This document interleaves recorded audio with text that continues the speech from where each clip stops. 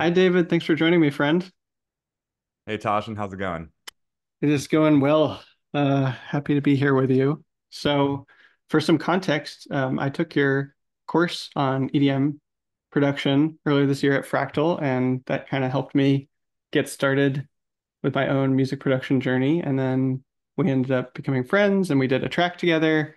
And uh, yeah, I just thought it'd be cool to have you on the podcast and get to know you better in that way and share your lovely heart with the world. So, um, yeah, I'll start by asking you the question I ask everyone, which is about your life story.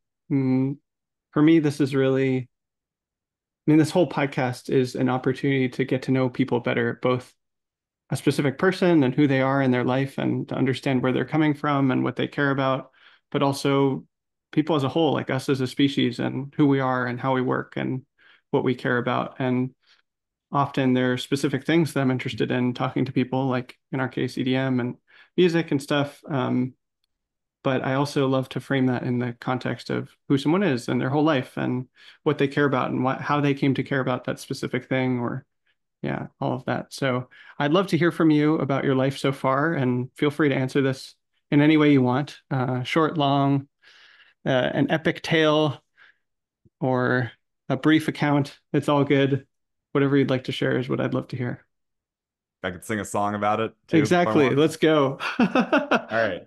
Um, well, it's great to be here on the podcast with you. Um, you know, you were a really fantastic student in my class too, very dedicated. You actually did all the homework and even went above and beyond. So um, it was really validating for me as an instructor when you uh, when we were able to, you know, get in the studio together and make a track together, and it wasn't just like, you know, me doing all the work and and you know you just being there it actually felt like an honest to goodness uh, collaboration. And i think it's maybe the best track i've ever done. So uh, thank you for um, making that possible for me. Wow so cool. life story. Um where to start? Uh well i was born in pensacola florida. Um that's uh the panhandle the gulf coast. It's actually so far west that it's in central time unlike the rest of florida so already a little quirked up there um, and it's not a very big city, maybe 50,000 people. Um, so, you know, definitely relatively quiet, but a good, I'd say a good place for a kid to grow up. Um, you know, not a lot of distractions, not a lot of danger. Um, just like a, you know, solid kind of beach town to grow up in.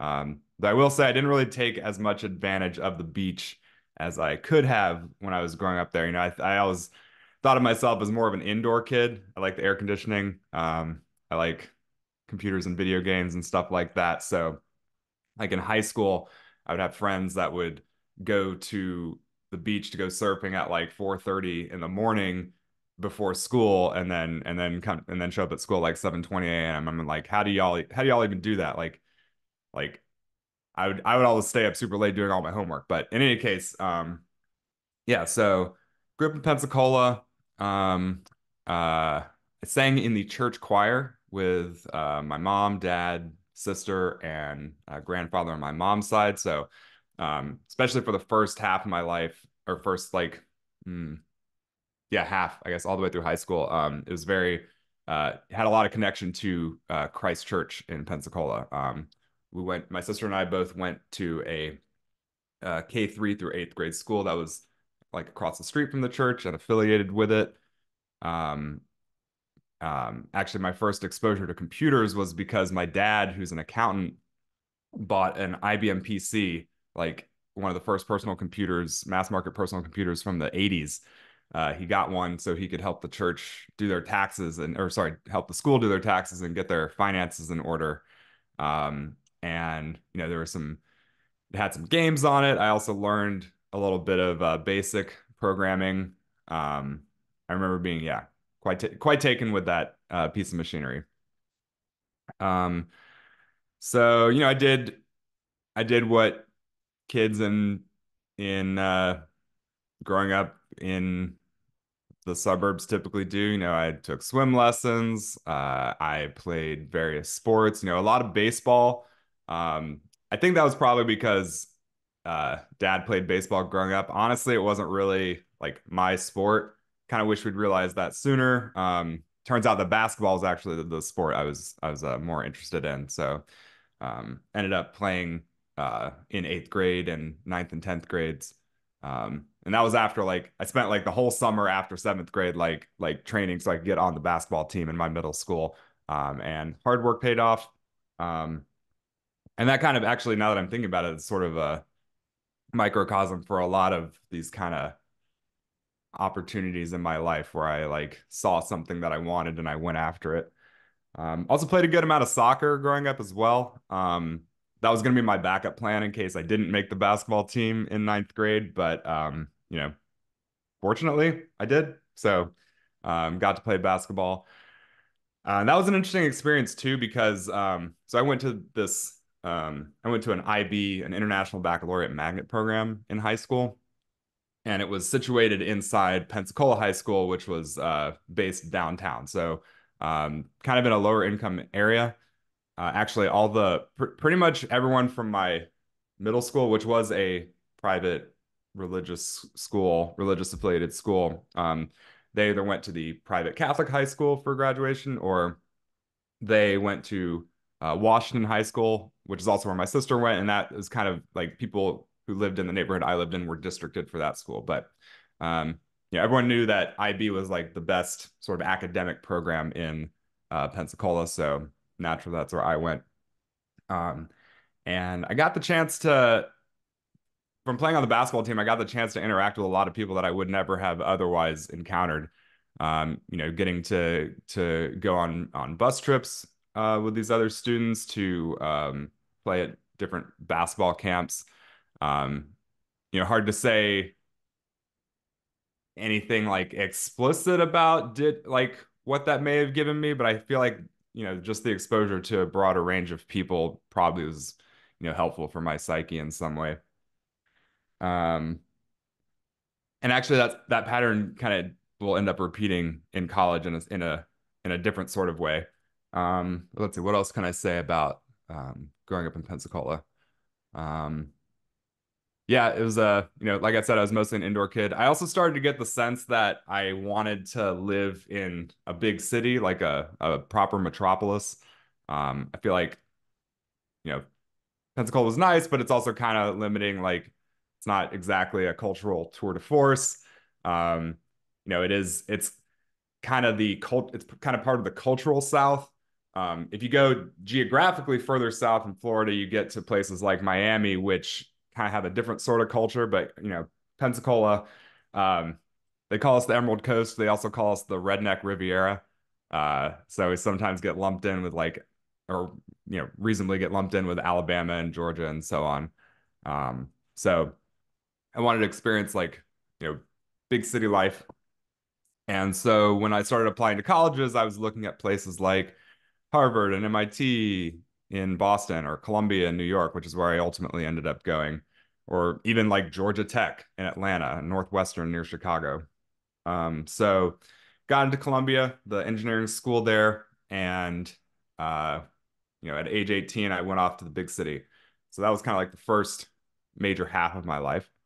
And the second half of my life up until today has been uh, dominated by uh, New York City, or you know, that's that's where I've been uh, living in or near for the second half of my life thus far. Um, so I went to Columbia, was uh, de- uh, decided I was going to be a mechanical engineering major, not based on a whole lot other than vibes. Um, uh, you know, I was good at math, I was good at physics. I did math team growing up in, uh, you know, when I was in high school, and uh, actually in middle school, I even won some countywide math competitions um, as a seventh and eighth grader. So for a while there, I was like the best math student in Pensacola uh, for whatever that's worth.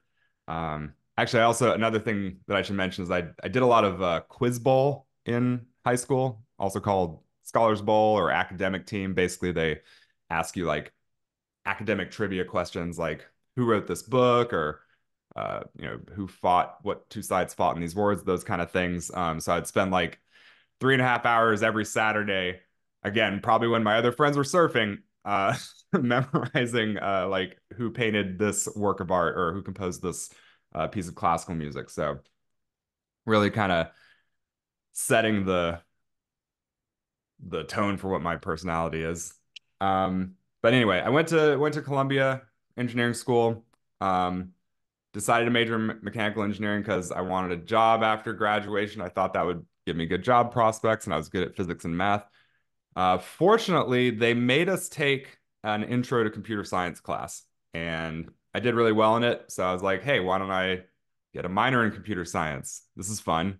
Um, and you know, looking back, it is obvious to me that I should have just majored in computer science because uh, I ended up doing like my best GPA was in all my comp sci classes. I think if I'd had more like mentors growing up that you know just examples of people making a living doing computer programming, maybe I wouldn't have been um, seduced by the uh, allures of mechanical engineering. Because honestly, I'm not even that practically minded in terms of like working with things with my hands. You know, probably better than average, but not like not like some of my friends in that major who were, you know, who went on to work at, you know, Raytheon or or Rivian or place, you know, places where they're actually doing real uh, mechanical engineering. Um, but my my grandfather on my dad's side uh, was an engineer in the army. He worked at uh, Honeywell, and so that was that was probably a very salient example to me. So I was thinking, you know, okay, mechanical engineering. But anyway, so um, fortunately, I minored in computer science, and that ended up helping me out when I was trying to uh, when I was graduating. I was trying to stay in the city. Uh, that was like just my main goal, like just get some kind of job in the city. Um, doesn't really doesn't really matter too much if it's mechanical engineering or what. And uh, um, that's when I learned just how like lopsided the demand was because you know I would I would send out my resume to all sorts of mechanical engineering jobs, wouldn't hear a peep. But then I would like email a programming job uh, shop in class, and then five minutes later I'd get invited to do a phone call with them. So like that was sort of a wake up call. Maybe if I had taken advantage of academic advising, I would have figured that out sooner. But um, you know, who's to say? Um, and while I'm on the topic of engineering, I mentioned that, you know, in high school, I played basketball and that exposed me to a bunch of other different people. In college, I, um, Columbia has this um, annual theater production called the Varsity Show. They basically get a bunch of students to put on a big musical production that's kind of based around Columbia, its culture, current events. Um, I think it originally started as like a fundraiser for our uh, sports teams, which uh, I don't know if more money is going to help them. They need they need something else, maybe Jesus. Um, but uh, um, you know, I saw it my my um, uh, freshman year of college, and I was like, oh my god, I want to be a part of that. And so I started playing piano and keyboards for for any musical I could get my hands on there, you know, theater production show. And so I got to meet a whole bunch of um, theater people. Uh, very little overlap with my engineering friends. Uh, I think there was one guy who was a civil engineer and he later became an Imagineer at Disney, which is kind of like the perfect job for him, you know, being a, a engineering minded theater kid. Um, but that was really great to get to, you know, continue honing and honing my musical skills and um, uh, expressing them really. Um, also opened up some random interesting opportunities. Like I got to play piano for Lucy Simon, who wrote the musical um, Secret Garden, because we did a production of that, and I think she was friends with our director, his mom or something, and came to see the show. And she was like, "Oh, who's who's that pianist? We're kind of putting together a. We want to maybe do a simplified version of the score for people to play." So I got to like go over to her apartment, play my own versions of these tracks because I was really kind of winging it. Like a lot of times with these, you know, I had tons of classwork, of course, and then very compressed schedule to learn all the music. So a lot of the times I was just kind of winging it or making up, you know, playing something that was approximately what was in the score. It's not like not like the audience would notice that I wasn't hitting every single note precisely as written in the score. And um, there's actually probably a, a life lesson there about not being too precious about one's um artistic expression you know just like um you're the one that knows the most about what's going on musically I mean, maybe in certain rarefied cases, like with classical music, where you have like art critics listening carefully, they they might be noticed. But the most part, people aren't paying attention as carefully as you think, and so you don't need to kill yourself trying to make things perfect. It can be, you know, good enough for that matter. But I mean, for me, there's always this internal artistic tension. I, I know one of your later questions is going to be about like what makes me feel satisfied with my music, and you know, I do have this perfectionist streak where I want to make it sound perfect in my head. And that, I mean, not to sound too pretentious, but probably I assume a lot of artists have that drive within them to, because they have like this very clear vision that they're trying to achieve. And it doesn't matter as much like what the audience thinks necessarily. Um, but anyway, so yeah, so I played played piano and keyboards for a lot of musicals. Um, got to meet a lot of great people. Um, actually, I eventually met my wife through a party that was in a long series of sort of these weekend house getaway parties uh, that my theater friends were throwing. So you could say I never would have met her if I hadn't done all this, um, uh, you know, played in all these shows. So, um, you know, music can change your life. um, what else? Uh, yeah. So, so it came time to graduate. Um, didn't have any. I you know I had a couple internships, but like nothing really too too fancy.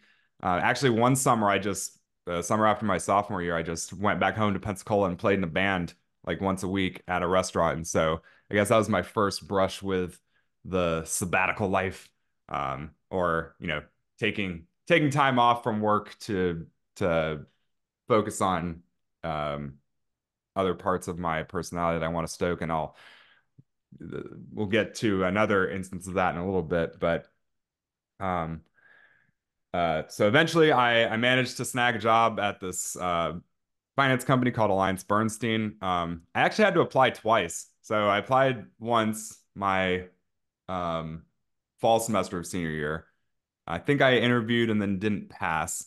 But meanwhile, my my roommate and really good friend uh, Nick uh, Bornstein, he he did get a job with them, and then in spring semester, they were looking for more applicants. So uh, I just reapplied, but this time I had uh, I had tuned up my cover letter thanks to another friend of mine, Stanley, who uh, he works at Stripe, um, and I I don't know if they just were okay with interviewing me again or they didn't notice that they had interviewed me again, but you know in the meantime I'd practiced a bit more um, of the you know kind of technical interview questions that they ask and um, managed to get the job offer.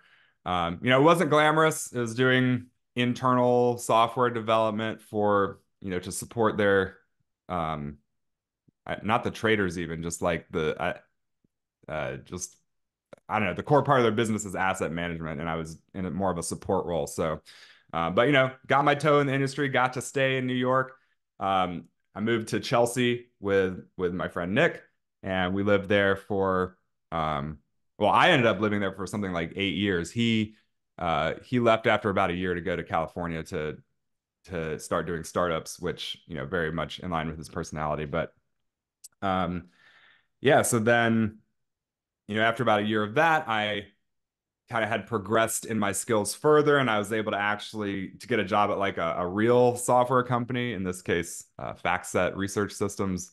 They make a um, they make like a financial terminal similar to Bloomberg, but you know, there they actually had r- real software engineering practices. Like when you would sync the code down for the first time and compile it, it would actually build. And oh, we have tests that your code needs to pass, and we do code reviews. So, um, you know, definitely an upgrade in the level of professionalism.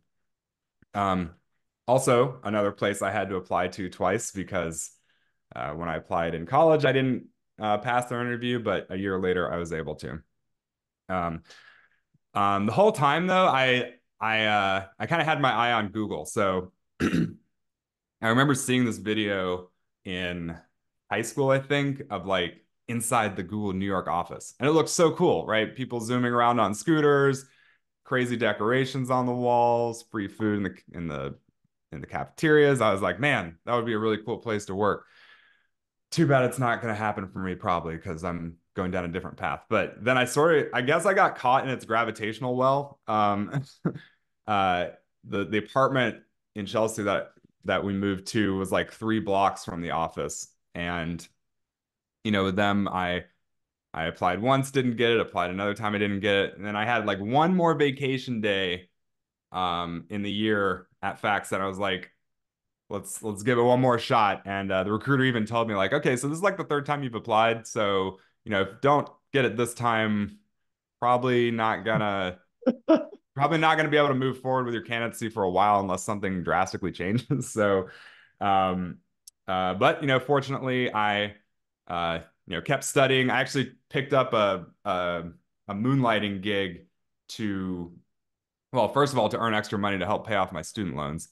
Um, but second, to gain some more experience and you know facility with this programming language called Python, and um, and also you know continue to study a lot in my in my spare time because again I also had some ground to make up here. You know, having only minored in computer science, I didn't have quite as much exposure to the sorts of um, topics that they that they ask about. Um, I didn't have any like internships at these big tech companies that would kind of acculturate me to what to expect in these kind of interviews. So I sort of had to uh, do it on my own. Um, but third time was the charm. Actually, they even made me do two phone interviews that time because I guess the first one didn't give enough signal. So, uh, but yeah, you know, it doesn't matter what what roadblocks are in front of me. I will find a way to bust through if I really uh, care about care about the end result. So finally felt like, you know, when I got that offer in hand, it was like electrifying. I felt like I'd finally been admitted into the cathedral of computer science. Um, and that's where I stayed for the next eight years. Now, in the meantime, um, was still doing music stuff. Um, I I dabbled in this one band, um, and I think the current, I think the um, singer from that band is went on tour with Broadway at some point. He was very serious about it. He like wanted us to have all these like the- theatrical elements to our shows. Um, and for me, it kind of, I kind of fizzled out on it just because it's like very annoying to have to carry your equipment all around the city. Uh, you know, especially, you know, it could be heavy carrying it around on the subway. I, I, I see musicians wheeling their cellos around or whatever, and my heart goes out to them. Um, but that's kind of when I started um, you know picking back up on the computer music thing. So i'd always been you know using computers to to facilitate my music ever since at least high school maybe even a little bit in middle school. But like i would um in in uh, high school i won this con- this statewide composition contest in florida um you know um programming drums and other instruments in uh a piece of software called Cakewalk. I would I would play stuff in on my keyboard, like record it in to the computer. Um, you know, didn't sound that professional, but I guess for a high schooler entering this uh, school-based uh, music composition contest, it was fine. Um, maybe I'll even backtrack a little bit further. At the um, when I was 13, I you know I'd been taking classical piano lessons for a while now since I was seven um, you know, at the initial urging of my dad, but you know, as a kind of a, I think I have a tendency to want to please my parents. Um, not that uncommon in kids, and so I was like, sure, let's do it. And I already, you know, we already had the the musical context of our um, family to kind of encourage that. Um, but I was kind of getting a little burnt out on it, like, you know, I'd prepare these pieces, and then I would sometimes play some of them at recitals or sometimes I wouldn't. And I kind of was just thinking, like, why am I spending all this time learning this instrument? I don't know. Um, but then I remember reading a forum post about using Winamp, I think, to to slow down music so you could transcribe it. And the poster gave an example of the song Overture 1928 by Dream Theater. Uh, and I was like, hmm, let me check that out because this was in the days of Napster. Uh, so you could, you know, I would just download music from Napster. Um, uh, and I heard the song and I was just like completely blown away. Like, oh my God, where has the sound been all my life? Um, like prior to that, I pretty much only listened to classical music and Weird Al. Uh, I wasn't really interested in the music that was on the radio. Um, and they never played Weird Al on the radio. Go figure.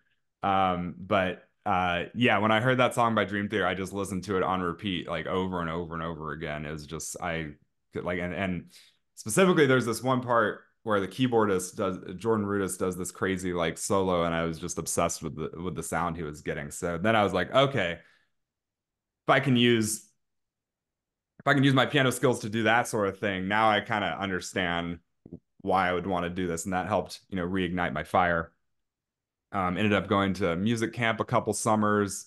Um, spent spent a lot of time on the Jordan Rudess forums. Um, like they would they would post these backing tracks where it was just like the background instruments, and then people would play their own solos on top of them.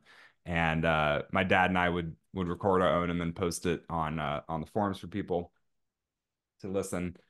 Um, and that actually led to maybe my first brush with celebrity. So senior year, or I guess summer after junior year, I was at um, I was at music camp, Brevard Music Center, and uh, my dad and my bandmates were going to come pick me up because we were going to go stop by in Atlanta afterwards to see this uh, touring metal show called Gigantour. Um, and Dream Theater was performing there, and, and Megadeth and some other folks.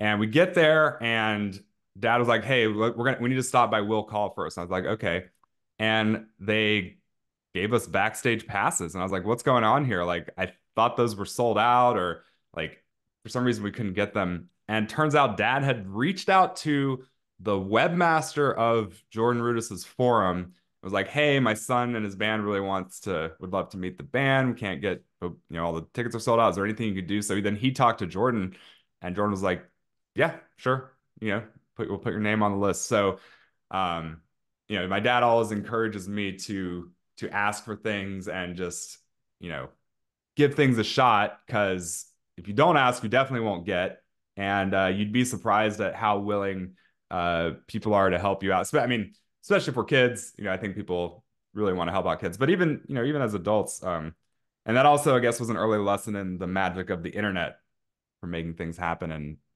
making uh, uh, connections possible that weren't otherwise that wouldn't otherwise be happening, as you well know. Um, so, so yeah, so, um, and by the way, that, all that skill I developed playing classical music is what allowed me to playing all those musicals in in college in the first place. So anyway, so uh, we're we're now post graduation. Um, I stopped playing the band. I started to focus more on like music production again. So I had a friend who made some uh, flash animations. His name Jake is Jake Hollander. Um, uh, he he he was entering this contest on Newgrounds, which was still relevant at the time. Might still be, but it was before Flash was too much of a security issue and they still had all their flash animations on there. Um, so I did some uh, some of the background music and sound effects for some of his animations. One of them actually got like a hundred thousand views. It was uh, like a parody of the movie 300, but with uh, where all the characters were numbers and it hmm. was like a battle of odd versus even or something. Uh, that was a really fun project to work on. That's probably still the piece of work of mine that has been heard the most, musically speaking. Really random, you know. I've released plenty of music since then that I think is better, but um, you know, you never know. You never know what's going to get picked up by the maw of the internet.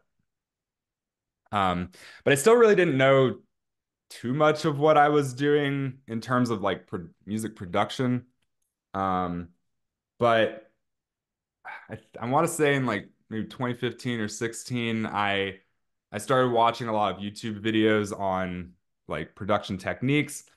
I learned about this website called Splice, which you're not familiar with, which lets you download um, uh, samples that you can then use. And they also had this rent to own program. So I um, used that to get a piece of software called Serum, which is like one of the most popular software synthesizers these days. So then I had like kind of the three legs of the stool, like like proper knowledge, um, uh, good sounding samples, and good quality software. At this point, I'd also switched to Ableton. Actually, maybe I'll go back a little bit before then. So um, to talk because uh, you know you and I met via EDM. So where did that impulse come up in me? Well, um, in like 2011, I think uh, my girlfriend at the time introduced me to this website called Turntable.fm, which is now defunct, but it's basically like a chat room where you had your little avatar and people would take turns uh, DJing for each other. You'd get up on the decks and you could, uh, you know, select from their library of songs, or you could upload some of your own songs. So, um, and her favorite room to hang out in was the dubstep room. So we would hang out there, and like I just remember kind of having a similar feeling to when I heard Dream Theater the first time. Like every song was just like so crazy and over the top and felt like it was better than the next. And I don't even know how I was able to focus on my job while listening to all that crazy music. But um, you know, they didn't fire me, so I guess I I did all right. Um, and I I tried post I tried sharing some of my early work there, like, and it just I wish I could share one of them with you. I don't know where it is, but like this one song I made just sounds it's technically a dubstep song, but like I didn't even know about sidechaining back then and how important that is, and uh, certainly didn't know much about programming decent sounds or where to get them. So, um, you know, never really took off. Go figure. Um, but then that you know that kind of like then I at least knew what what sort of terms to Google, so I could find more of this music on my own. Because that was another case of like where I was sure that the sound is out there. Like I'd heard snippets of electronic music before, like I was really obsessed with that one Eiffel 65 song called Blue. uh, that was probably the first electronic music song that really got stuck in my head. Um, but but yeah, so 2015 or 16 or so, I finally had enough tools and knowledge to make my first like what I thought was good production quality sounding song. It was a remix of a speech from RuPaul's Drag Race. Uh, I'd finally been convinced to to watch the show. Um, and there's a lot of great clips and quotes in it, so uh, it worked really well for um, for for remixing. And then, yeah, I just kept um, kept making more tracks. Um, I learned how to DJ. Um, you know, got some got some DJing software so I could actually um, uh, perform um, in a in a setting. Um, uh, during this during this part of my life, like during my 20s, I was also going to Burning Man every year. So that was that felt like it was very stimulating to my to my creativity and um uh, the la- the most recent time I went, I actually like played a set in uh, for my friend's birthday party, which re- went really well. So that kind of like felt like a capstone of my Burning Man experience. And then, um, I know I might be going on a little long here, but no, uh, okay. Um, so I'm also, you know, here at Google. Most, most, um, the best social environment I'd ever had at a corporation. You know, there's lots. I think I started there when I was 26. There are a lot of, you know, young, similar young people moving from all over the the world to work here. Um, unlike the unlike say the Googleplex in Mountain View, the New York office is centered around one building. It's grown a bit since then, but you know, it's basically like a big cruise ship in the middle of Chelsea. Um, and so you're constantly getting to interact with all these different people. I had a really nice core group of friends, and we would watch uh, TGIF every night. That's like the it's like a weekly all hands where the founders of the company would speak and they'd like put out drinks and snacks for us to watch. So like really felt a strong sense of camaraderie there. Um, it was also great too because I could, you know, I lived so close to it, so I could, you know, my commute was the best it's ever been like five minutes. Um, I could take my friends to the office after hours and we could like hang out and play pool or, um, you know, um, look at the Hudson. Actually, uh, my first date with my wife uh, was at the Google office uh, after like we met at this weekend party. And I was like, hey, do you want to come eat burrito bowls and watch the sunset from the 14th floor terrace? And uh, she was into it. So um, thank you, Google, for um, hooking it up. Um, but yeah, eventually, eventually, I kind of I felt like I was hitting a ceiling in my career. You know, I'd I'd uh, I'd done one horizontal transfer to the uh, augmented reality division of the company. It was called Daydream at the time, and uh, you know, that kept me going for a bit longer. Um, but then I just, you know, wasn't able to like I tried getting promoted a couple times, didn't happen, uh, and I wasn't really sure if I could like mentally handle sticking around. So decided to shake things up um, and join a startup because I felt like I needed that um, kind of that different sort of experience. You know, I'd never worked at a at a, at a very small company, um, and but now I had like 10 12 years of engineering experience under my belt so i felt a lot more confident that i could you know pick things up quickly and start making an impact in a um in an environment like that where you got to move fast and you only have so much money and if you don't keep raising money or you know making progress you're you're just that's it you're you're done. So um once again talk to my friend nick.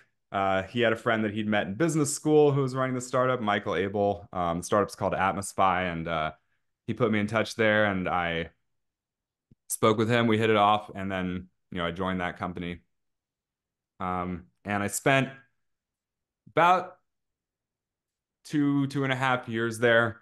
Um, this is also this was sort of after COVID had started. I don't think we were technically out of the pandemic yet, but um, uh, um, in any case, the company itself was fully remote. So that was, you know, we'd been sort of remote at Google. Like when when the pandemic hit, we all just brought our laptops home and we're working from home uh, from then on. Um, but this company was like fully remote all the time. I only ever met one other person at the company in person twice. Uh, Rosie Adkins, shout out Rosie. Um, but uh, yeah, so so coming to terms with like not actually being able to see my colleagues in person. It sounds it sounds nice, like, oh, you don't have to go into the office, you don't have a commute, you can just roll out of bed and like go to your desk and start working. But it also kind of like for me at least, started to to wear on me, like creating this feeling of sameness um, throughout the day, like not really getting a chance to break things up and and have a third, well, a second space really to go to. Um, so uh, eventually, I came to the realization that hey, I should, you know, this is a great this would be a great opportunity to go on sabbatical. You know, take a break from working. I've been in the game for like 13 or 14 years at this point saved up a good amount of money. Um, didn't um, kind of was wondering like why like why what am I working this hard for if I'm not going to actually use these resources I've accumulated to to do something fun or interesting with it. So and the the kicker is that when I was really making this decision, I looked back at my journals from a year prior and I was already starting to like write about this kind of topic. So it had actually been simmering in my subconscious for quite some time.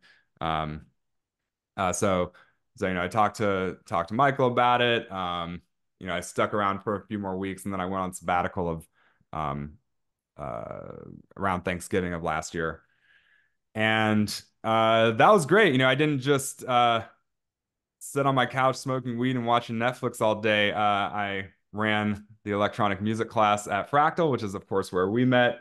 Uh, had you know that that's been a really validating experience for me. You know, getting to to to dive deep into music and um, crystallize all of the knowledge that I've accumulated over the years and put it into like a solid curriculum, um, uh, which I've you know iterated on a couple times. Uh, definitely saw my own abilities as a producer improve during that time. You know, having to make the same kind of beat over and over again uh, really sped up my workflow and also this idea of not getting too fixated on specific ideas you know just keeping things moving forward. You don't need to t- endlessly tweak tiny parameters that only you are going to hear if that. Um and um yeah so so that i guess kind of brings me to today. I've, I've run the class twice now. I've actually been uh, interviewing to get back into the game. Um, you know, when uh, my living expenses have gone up a lot now because I'm paying for my own health insurance, and you know, I've, I've I've gotten a lot of juice out of the sabbatical. Um, uh, but I do. I have also realized like, hey, I really do want to continue going deep on this computers thing.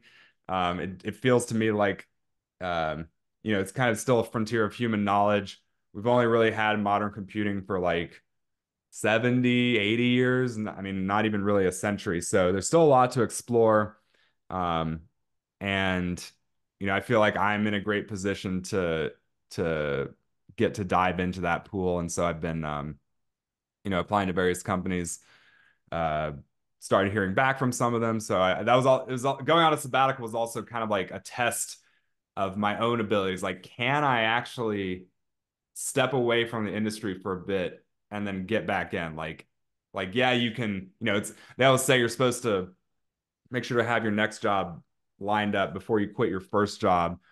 But you know that felt like kind of a limiting belief to me, and I don't like to feel trapped. And you know, I in software itself, you often like when you're when you're doing recovery testing, like it's not enough to just back up your data. You also need to test that you can recover the data. So for me, this is like also a, a test of my recovery system. Like, could I jump back in if I were to, I don't know, lose my job or I wanted to go off and do something else for a while? And so far, it seems like that test is passing. You know, I, don't I don't have a job yet, but all the um, you know, all the signs are leading in that direction. And I think I'll have a really nice uh, YouTube video uh, for that whole experience once um, once I'm done there. So um, yeah, probably left out you know a few things in my life, but uh, that that's probably a good overall summary of some of the highlights. Beautiful. Thanks for sharing your life like that and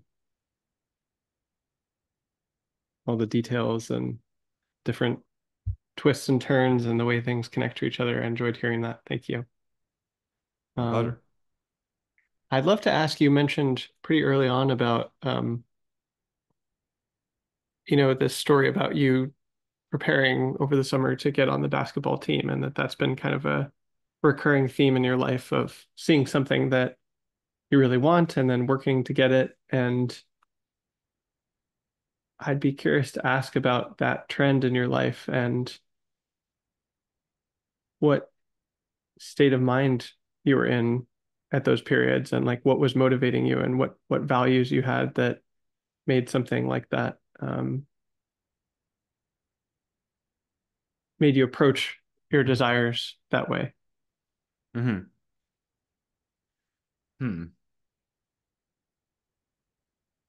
Well, it usually starts with me seeing something. Like I gotta, I gotta at least be aware that that this is a possibility. Like I could be, I could get to participate in that.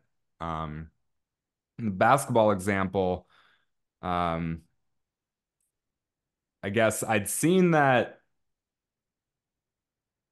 you know, in in seventh grade, I I kind of missed the chance to to try out, or I might have even tried out and not gotten it. I don't quote me on that. I I forget, but um, uh, I don't know. I think I'd seen the game and and the sort of density of of activity and and energy in the game kind of drew me in compared to soccer where everything's like much more spread out. Um, probably it also didn't help that a lot in a lot of my soccer experiences we were like a very good team relative to the competition. I usually played defense so there'd be like there's this one season where we literally scored 100 goals throughout the season and we had one scored on us. And so i spent a lot of time just at mid midfield just like hanging out. Um, and i'm and i'm like you know what am i doing here like is this really the best use of my time Whereas at least with basketball, like once you're in the game, it's like you know everyone's everyone's got a role to play. Everyone everyone's in in the mix. Uh, actually, same thing with baseball, right? Like I would often just be in the outfield and I'd be bored out of my mind because you know nothing's going on. I can't move things forward um, in any meaningful way. Um, hope no hope you don't have any baseball fans out there. I really don't care for the sport, but whatever. Let's not get into that. Um, so uh, I guess there, yeah. So initial, there has to be like some initial like feeling that something's missing, and and then the awareness that oh maybe this activity could give me some of those things that I uh, that I want. Um, so um, you know, besides like practicing free throws every day in my in my uh, driveway, uh, my dad also um, coached a coached a rec league basketball team for us with some of the other uh, some of the other kids. So you know, props to him for like you know helping his son uh, achieve some goals of his. Actually, he also coached our math team in in middle school. So um, been a lot of cases where he's helped kind of bootstrap me or, or bring me up. Um, and so yeah, having like you know the way internally it feels like I'm doing lots of work myself, but I definitely shouldn't discount the uh, the effects of people, you know, helping me along the way. So like um, getting into Google, for instance, I the person that referred me was someone who I'd camped with at Burning Man. So that's like another kind of interesting connection there. Um, but yeah, when I want to like when I see something that I that I want and I want to go out and get it, um, well, maybe another another example might be grades. So like in in high school i felt like i needed to get all a's and i pretty much succeeded. I think i got one b one semester one time. Um, similarly got very high grades in college. I felt like like for me the the clarity of that goal is one thing that helped me um, helped me achieve it. Like i know what success looks like here.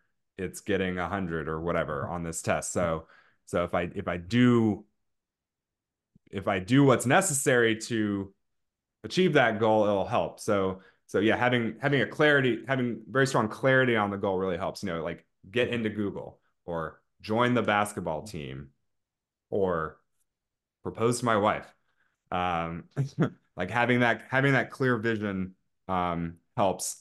But there's often always this element of uncertainty. Like I don't actually know what the precise minimum amount of whatever I need to do to get that goal. So I always end up like doing more that like doing as much as I can or doing more than probably is necessary because like if I try to aim exactly at like um you know the minimum amount of effort needed to get something there's a good chance that I won't get it like I won't um succeed. So so like you know with getting into Google I would spend lots of time after work you know after my software engineering job to you know practice these interview questions and and keep um uh keep building my skills because I really didn't know like how much I truly needed to do. So I just had to go give it as much as I could. So so to do that of course you have to or I have to not spend time on other things. So having having a good amount of focus um is also necessary besides you know having clarity of vision.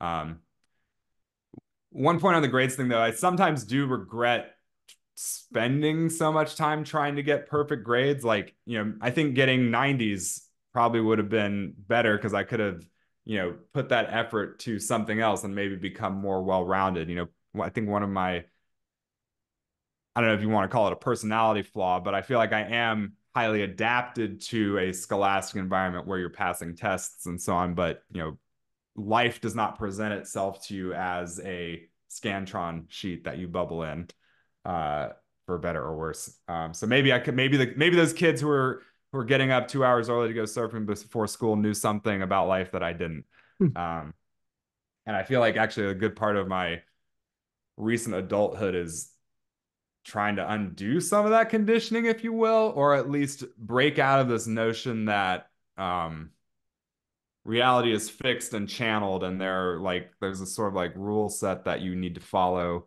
and um, you know if you do follow it, then you can achieve what you want.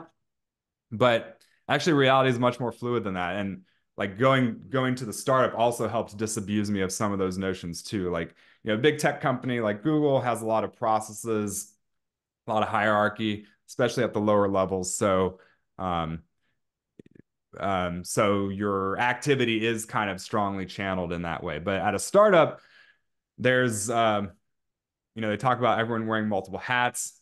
Oftentimes, we don't even necessarily know what the most important thing to be doing is. So, um, so like trying lots of things and seeing what works is a good approach there.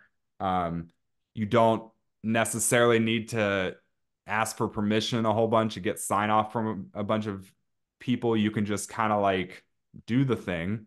Um, you don't need to like rules can be helpful to channel your thinking, but they can also be limiting. So sometimes have to like I sometimes catch myself noticing when I'm trying to follow rules too strongly or imposing uh, sort of algorithmic quality to the situation that is mainly in my own head. And I guess it simplifies things, but um, you know, it became a lot more freeing when I realized, oh, I don't have to expend energy like following these rules so carefully. I can kind of do things do things my own way and you know do it in a more fluid fashion.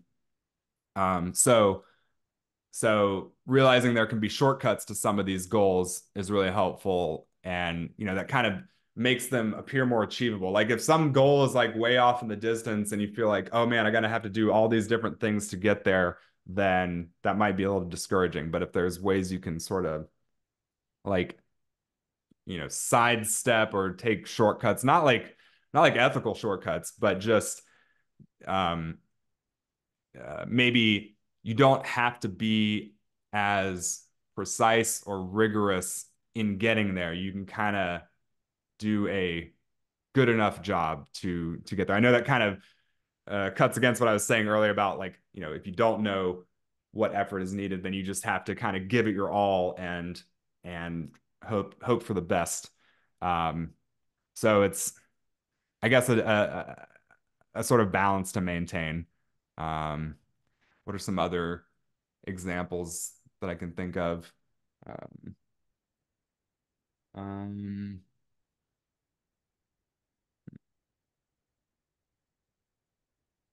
well, maybe I'll maybe I'll stop there for now. Um, I'm not sure how well I answered your question, but uh, very well. Thank you. Things in there. Do you remember any lessons that your dad taught you about how to focus on things that you care about, or how to work at goals that you had, or anything like that? Hmm. Well, I definitely saw him doing that. Um, so like at one point he was also pursuing a, a computer science degree as an adult. So he would, you know, go to classes, show up. He would, he would, uh, I remember him sharing with me this uh, battleship program he had written uh, for one of his classes. So, you know, having him as an example of someone who puts an effort towards some goal. You know, I don't, I don't know if he actually got the the computer science degree, but he did get an organ performance degree, which was you know very much in alignment with, um, you know, with his his values. I mean, he continue like he's retired now, but he continues to play organ at at church services and other kind of services like that. So, um, uh, you know, the, the the big lesson I mentioned was maybe think just believing that it is possible. Like, like oh, if I talk to this person on the internet they could actually do something really nice for them, which doesn't necessarily take take a whole lot of effort on their part. Like it seems like this huge thing to me from where I'm standing, but um, you know, from their perspective, it's like practically trivial. So um, yeah, knowing that a goal is possible, or at least feeling like it is, you don't even need to know it. You can just uh, um, perhaps you can even just assume that it is possible and uh, as long as you believe in it enough, then you can uh, you can keep pushing forward there. Um, so yeah, I'd say that's that's probably the the strongest uh, lesson that he he taught me. Hmm. Zooming out a little bit, how would you characterize how your own mind works, and I know also like what it's like to be you? Oh boy. Um Hmm.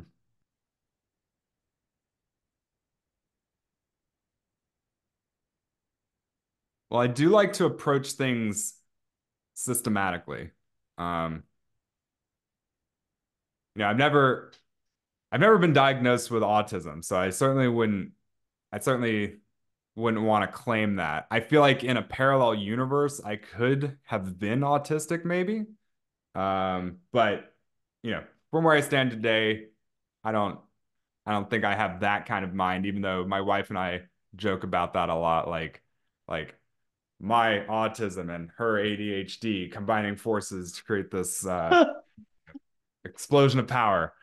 Um, but I do, um, I do often think in terms of like images kind of colliding and intersecting with each other. Um, you know, if I'm if I'm reading a book and I'm trying to like really grasp what what the author's saying, I'll often like come up with these mental images that um that I can then like rotate and play against each other in their head, which is kind of ironic because you know the my profession is all about writing symbolic language, you know, writing code that does this or that.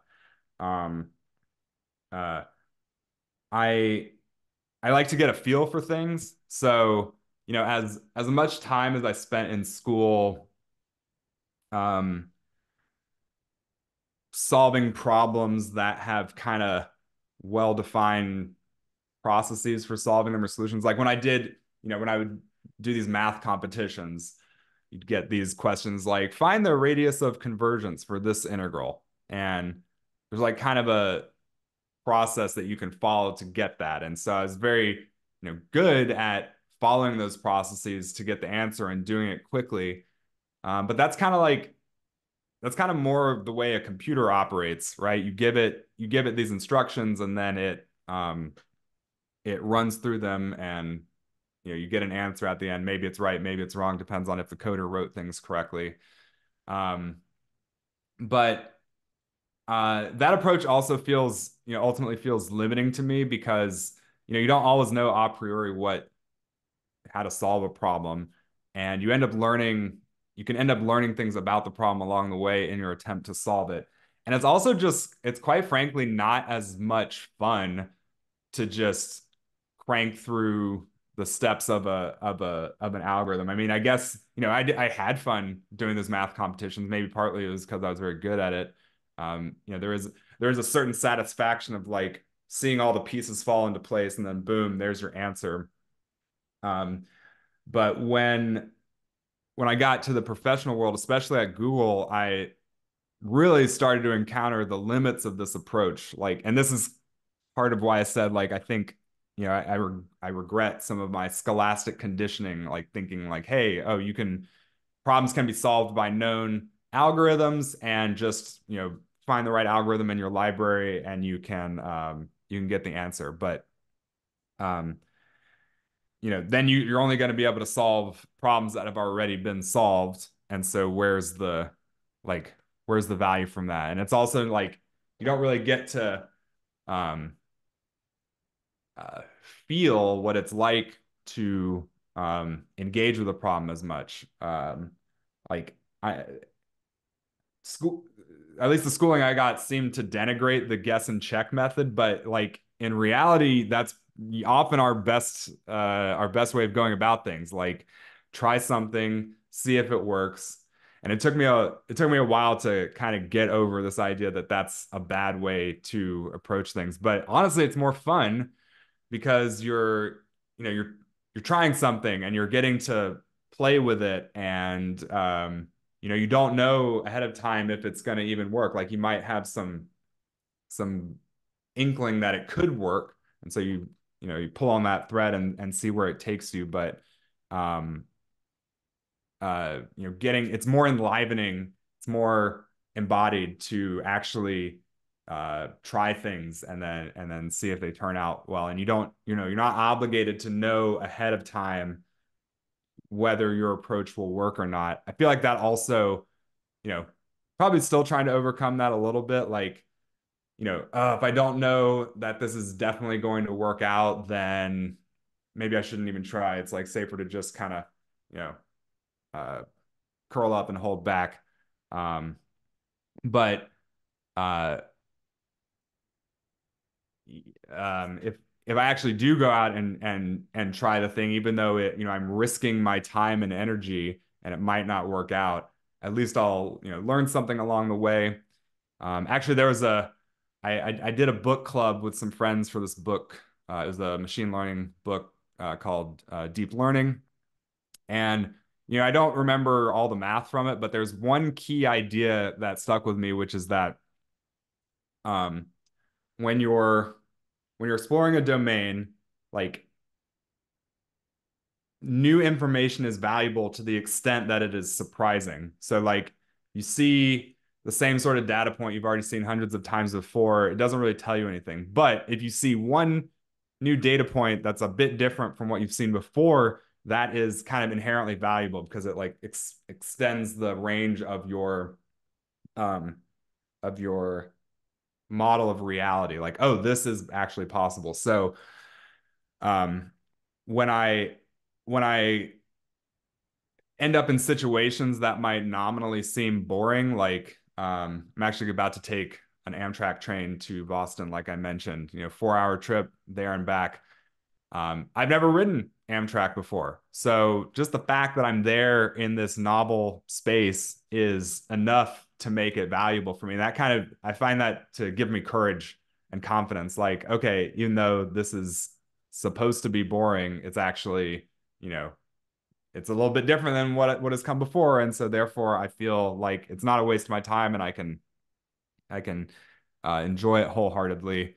Um, even nominally bad situations like getting a speeding ticket. I mean, I've gotten you know I've gotten a few in my life, but um, it's still like a brush with part of reality that I don't experience that often. And so even though, you know, it's bad, I got to pay for the speeding ticket. At least I, uh, um, you know, got to experience something a little different than my day-to-day life. Uh, don't speed kids.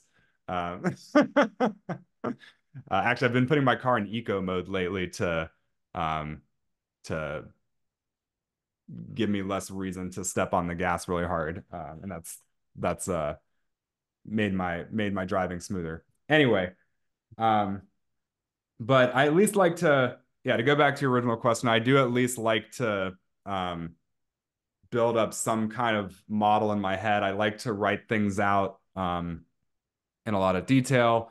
I like to draw pictures to try to make the the situation more vivid. I try to I think I'm pretty good at like simulating in my head what something will look like as it plays out. So like I'm trying to learn a new recipe, cooking recipe, I'll like read the instructions and and visualize myself like pouring the cinnamon into the bowl and then mixing in the butter and stuff like that and trying to make it like really vivid in my head um so that I can uh because I'm always scared that I'm gonna forget something or that I'm going to miss a step or that I'm gonna overlook something. So probably to a fault. Like I'd say in in some cases I probably spend too much time reading and rereading the instructions and I should just feel confident that okay, I got it and I can figure out you know on the fly if I'm overlooking something.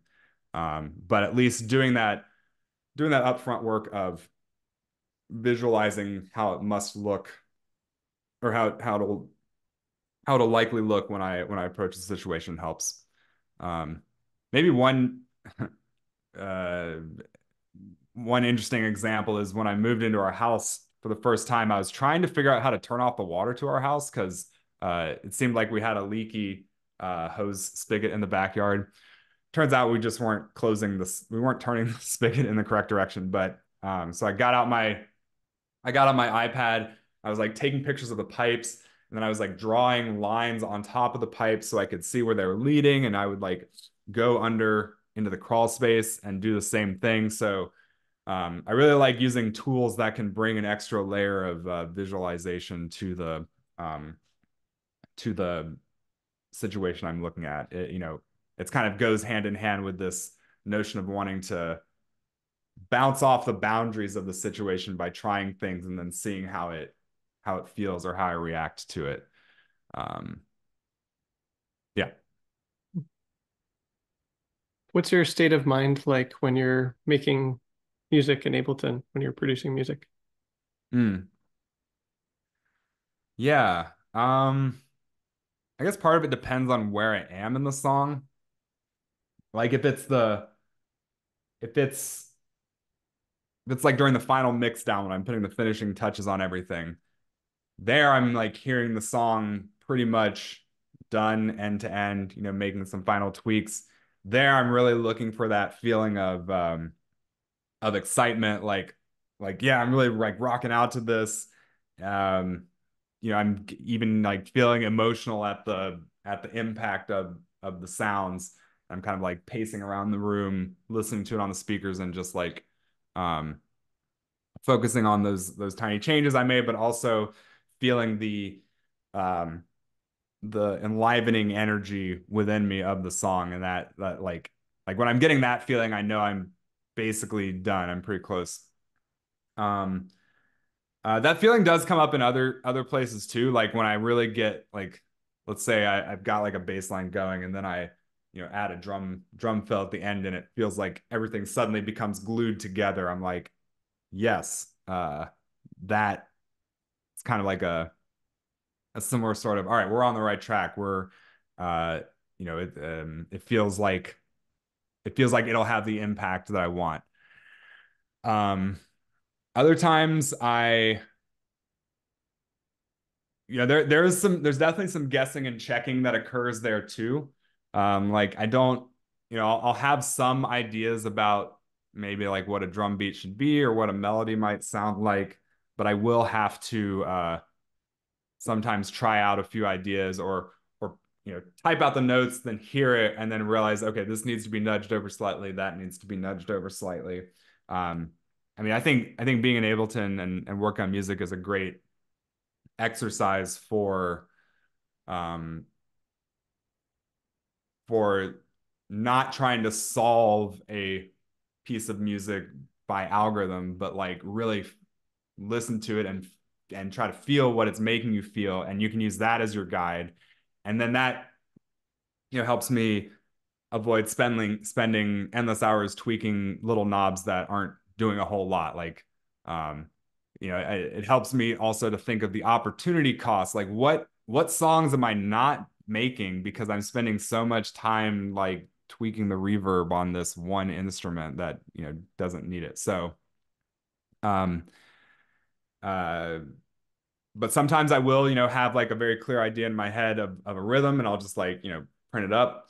Um, and um you know, as I've as I've gotten better about it, like the music just kind of suggests things to me a lot of the times. Like I'll be able to feel where it wants to go.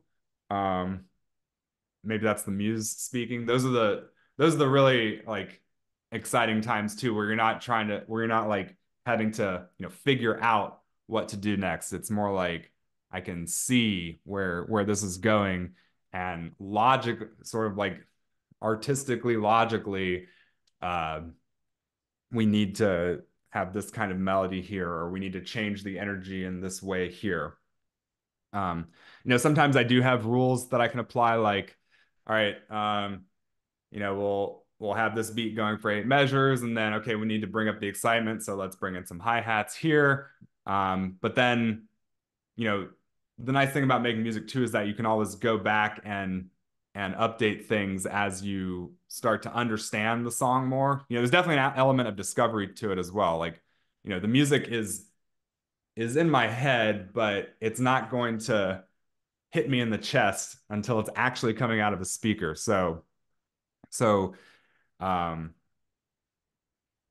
uh so it's nice to like when you're doing that translation process from your head to the to the um to the DAW um, you get to see you get you get that surprising feeling of oh this is what I was I was reaching for. And you know you get bet I've gotten better over time at like translating what's in my head into into Ableton but there's always you know it's a different medium. So you end up with um I think you always end up surprising yourselves.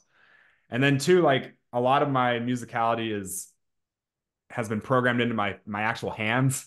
So like I'll need to play things on the keyboard and that won't even be very um, conscious. Like I'll know what key I'm in, maybe I'll know what notes I want to start on, um, but you know, and, and it ends up being like a, a, a journey of self discovery there as well because I'm not like preemptively planning to play certain notes. It's just what happens when my hand is on the keys and I'm hearing this sort of um, you know, back backing music, and uh, then maybe I'll you know go in and like edit edit some of the notes if I want to do something a little different. But um, you know, there's it's not it's definitely not like I already have a full-fledged vision in my head and I'm just gonna like type it all out. Um, it it definitely evolves over time. Um, and that's part of why using loops can be so nice because then it kind of helps uh kind of helps jumpstart those um those processes inside. Um, because the blank the blank canvas problem is real. Like, you know, I've I've uh you know, me having heard so much music over time in various genres, like I can get something on, I can get something down that will probably work. Um, but there's like a clear um stepwise change when you're when you already have something down and you're like building on top of it. So I often like to um, if it, even if I'm not not using a loop, I like to start with just like the most salient idea in my head because once I get that down, then the rest of the music sort of like spreads out from that, and I can um, kind of it'll it'll kickstart that natural evolutionary expansion process of the music. Um, yeah. What makes you really happy with a track that you've created? Mm. Um, well, I know a track is ready to submit when I can't when I can't think of anything else left to change. Um, now, sometimes it'll happen that I'll I'll like get really deep into a mixing session and I will think that there's nothing more to be changed, and then I'll listen to it the next day, and then I'll start to uh, you know, certain bits will start to annoy me. so then I know I have to go in and fix those or I'll I'll never be able to like listen to the song on my own because I honestly I'm probably going to be the one listening to my music the most. uh, so I really I I myself really need to be satisfied with it. And uh um so so yeah, I, I like I guess it's this sort of kind of like you're um rolling out your muscles like I I need to have fixed every sort of inconsistency with with how I think it should ultimately sound like like if the hi-hats are just a little too loud I need to bring them down or if the rhythm of a drum fill is just is not quite um uh in the in the pattern that I'm hearing I need to change it. Now I do have some more like uh, hard and fast rules, if you will, or at least, or maybe guiding principles is a better way to put it. So, um, you know, um, I don't like just introducing random sounds into a track because they sound cool. They need, I feel like I need to use a sound at least two or three times in the track somewhere. And this is like a way to create some internal consistency, some coherency. Um, you know, I, I break this rule sometimes for expediency or like there's just really no opportunity to bring that sound back. But in general, um, I structure my songs in such a way that I can have these recurring motifs, even if they're like very small, like even if it's just like one single sound or like one type of drum fill. Um, the fact that I've got it here, here, and here makes me feel like the song is is structured well and that I'm, you know, um, I'm not just making everything random, but I'm also not just making everything hyper repetitive. It's like this, it's like the minimum amount of repetitive structure needed to create coherency without it being uh, boring. So, um, so like, so that, so that's one, one idea. Um, I like it when I can, uh, when I can have some like crazy synth lines with lots of notes. I feel like that um, harkens back to my uh, prog metal days and my classical music days. You know, I was really obsessed with playing fast back back then. I would like, I would download guitar instructional videos from Kazaa, even though I don't play guitar, and I would just watch these guys like go with the metronome going in the background, um, and I was just you know fascinated by that for some reason. Really love watching the pianist's hands moving over the keyboard. So if I can work some kind of like virtuosic sounding uh uh synth figure in into it, I like that. Like in our latest track, we got that that that middle part has the cool uh line in it. Um um I like I like there to feel like there's this clear sense of uh, progression like like you know we start we start small, we build up to a certain amount, we pull back, and we build it up even more. And then there's like at some point there's this like kind of peak moment. I mean, there'll be several peak moments throughout the track, but like like building up to this most euphoric, intense, everything's coming together kind of moment. Um, I want to I usually I want to make sure that there's something like that in the track. Um, I don't really care for music that isn't that doesn't feel like it's trying to make a strong statement. I mean, you know, I'll listen to low chill lo-fi hip hop beats to study to when I'm when I'm studying or whatever, but um uh I I would prefer my music to like you know have a peak to it at some point like it like it's like everything's coming together and and like you know I, I so so by that reasoning I, I tend to like music that is more like high energy um you know like metal or or intense electronic dance music. Um so so making sure i have that in my tracks is important to me it makes me feel satisfied like yes there's that that one note that just is the absolute glittering peak of the pyramid of the song. Like it can, it can, it can literally even be just one note. Um, and you know, I also like my songs to feel like I've improved in some way or like I've, you know, done better than my my previous work in some way. So like especially with our track, like the the mixing I thought was um, some of the best I've ever done. It sounds like loud yet clear so I feel like I've really mastered something about the the the mixing process um, and and like how to how to layer sounds together so they fit well together and they don't fight each other. So feeling some kind of like like like self improvement, like I'm getting better at music is important. Um, and sometimes like if, if my music makes me laugh, that that's also nice. Like or or cry for that matter. Like um like you know I'll, I'll hear an idea in my head like okay I want to add this sample here, but it won't really become real until I hear it and then like like it'll make me laugh. Or in my song Paradigm, um, my vocalist sent me over um, some background harmonies that she used, and I you know got them got them tuned up and dropped them in the track, and I was just kind of playing it. I wasn't quite paying attention, but then when like the harmonies hit, it like like just suddenly brought tears to my eyes. I wasn't expecting that. So um feeling like there's these these moments of surprise, even though I'm the one making the track, shouldn't I know what's gonna happen? But it doesn't actually uh play out that way. Um maybe more so if I'm like giving a demonstration, but in my own music, like pursuing that feeling of surprise, I'll know I'm onto something uh something interesting there. Um,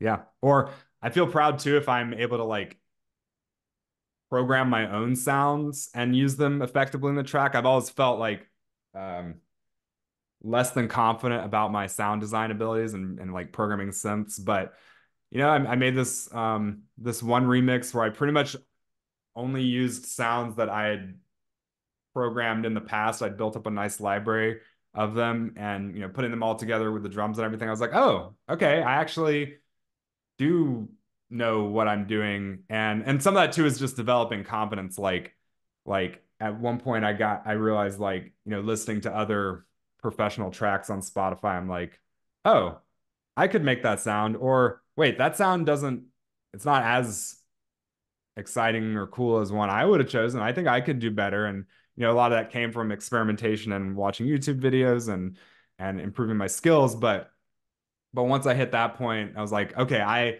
i feel empowered to use this sound that i programmed. And i don't have to worry that because i made it it's somehow not good enough. Like uh what's how am i any different from these other people posting their music on spotify so um so yeah, taking these moments to where I feel like I'm demonstrating to myself that I've learned something or progressed in my skills feels very uh, uh,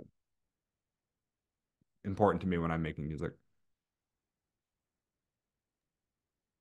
What was it like for you to work on this track Rockstar that we did together? um, well, it was awesome. It was a great time. Uh, it was really, again, like I said, validating to have seen you progress in the the months that we that we were together and um you know to the point where you're bringing your own ideas to the table um because that's one of the frustrating things too about like teaching students sometimes is like if i start to you know they they bring me something or they, they show me their track and and they ask well what should i do here well if i start making all the artistic decisions then it kind of becomes my track and it you know uh, you know, aside from like the technical skills of how do you create a drum loop in Ableton, let's say, the the the the meat of putting a track is all these thousands of artistic decisions that you make, and they're in some sense arbitrary, in the sense that there's no correct answer, and it's and it's more about like how is your internal artistic antennae uh, vibrating when you when you hear this, and like where is where's your artistic sensibility leading you in terms of these decisions? So um you know yeah so if i have to if i if i'm like suggesting what to do next then that sort of kills it for me because at that point i'd rather be working on my own song. Um but uh you know with you you brought you know a really awesome sample the lady gaga speech you even had and you had some like great initial ideas with the loops so um already I felt like you were bringing this amazing kernel of a song uh, to the table. And honestly, um, a lot of production, like you can do as much production as you want, but if you don't have that that like key kernel of an idea, it doesn't matter how many bells and whistles or fancy samples you use. Like you're kind of just making much ado about nothing. And on the other hand, if you do have like a strong, like key central idea, then it doesn't matter as much if your production isn't that great. Um, and so I think this is why producers like working with vocalists too, because the vocalist can kind of bring the key idea, and then the producer can, you know, polish it up and and and package everything nicely. But honestly, the the the hard part to to me, I mean, you know, granted, I've spent a lot of time developing my production skills. But for me, the hard part is uh, getting that that one main idea that you then want to build a track around. Um, and and for me, no amount of production can make up for for that lack. So first, so the fact that you brought such a great idea the start made me feel very confident that um, that by the end of this we'll have something that sounds really good. And uh, Rick Rubin isn't canceled, is he? I, I feel like we had a really good uh no. Um I felt like you were you were a really good Rick Rubin type of figure in the session because, you know, even though there's a big, you know, experience and skill gap between us, you had the important skill of knowing when enough is enough, when to keep things simple, you know, when to avoid overproducing and filling in gaps too much um, and that, you know, Brandon, we did have, you know, many hours in the studio together, but still it's a limited amount of time. And, and you don't want to, um, by the end of it, you want to have something that you can be proud of, or at least that you can ship. So, so you being that voice of, Hey, this is, this fine. This sounds good. Um, having that really well tuned sensibility. Cause, um, again, if you don't know where you're trying to take a track it doesn't matter how much how good your production skills are you could just be you know spinning your wheels or you know um, applying techniques arbitrarily but the technique is only there to get you to um, to get you to your final vision of things so um and i felt like we had a good sort of like pair programming style dynamic like where i was um you know we, we traded off occasionally, but I think I was probably in front of the the computer more. But that um, you know, I think that that dynamic can be really helpful because then one person's mind is sort of engaged with the more technical aspects of putting the track together.